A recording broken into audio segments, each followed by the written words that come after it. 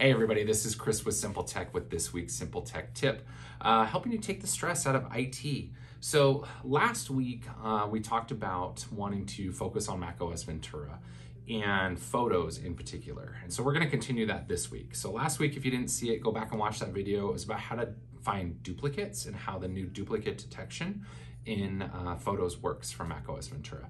Today, we're gonna be looking at the hidden photos, how to lock and hide photos or the hidden photos album and also, also the recently deleted album. Um, you know, maybe you do have some private stuff in there. You don't want your kids going through your phone or on your computer and maybe run across, or uh, hopefully you're not doing anything illegal, but you want to hide those too, then by all means, uh, there's a way for you to do that. Uh, just don't tell them I taught you how to do that and we'll be good. Uh, so if you're ready to get started and see how you can hide your photos and how you can password protect those, and you have macOS Ventura on your computer, let's get started. All right, so let's take a look at hidden files. Um, so, like I said, if you're ever up to anything naughty, um, this might be a feature that you use.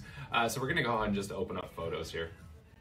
And you might already have some that are hidden. I don't, so I don't know what it's gonna look like if you're hidden photos. So I'm gonna just gonna put that as a disclaimer. So one of the first things that you're gonna notice when it comes to hidden photos and recently deleted now, your recent deleted, if you look over here, is actually locked now by default. Uh, I didn't do anything to lock that. I just opened photos and it had a lock. Now, if I click on view album, it's gonna ask for my computer's password. Now I have my Apple Watch on, so I can just double click and it can open that up and it can show me. I'm really glad that I didn't have anything bad in there because I'm like, I don't know what I just recently deleted. Um, but then it's gonna show me those, those files and I can then just erase deleted items, delete. Perfect. Deleted items gone. And you can see it, it removed itself from here. But what's cool is that deleted items now, I'm gonna delete that one, and see it's unlocked now, right? So I click on the lock, it relocks it.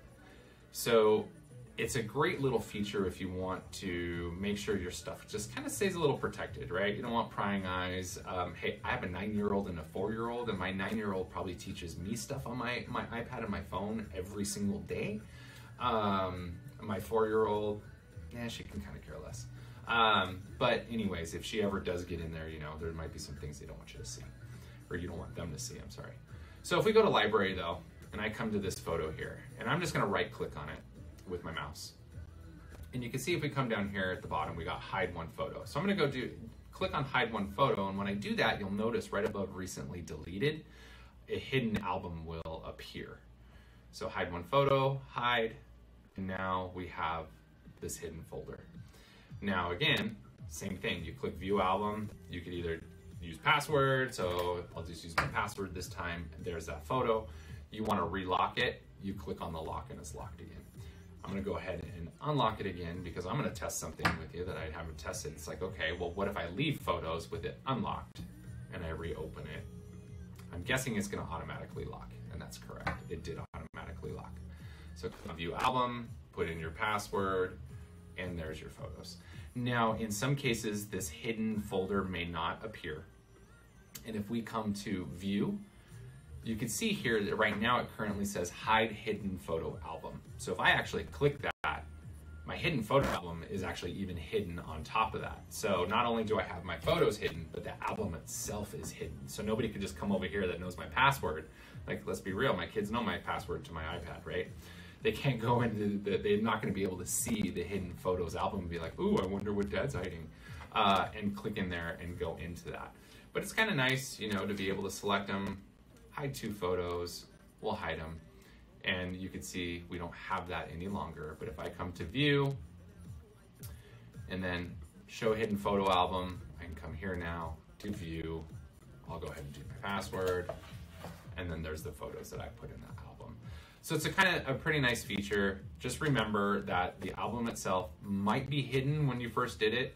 Um, so the first time you hide a photo, if you don't see it show up on here on your left side, the photo album is hidden.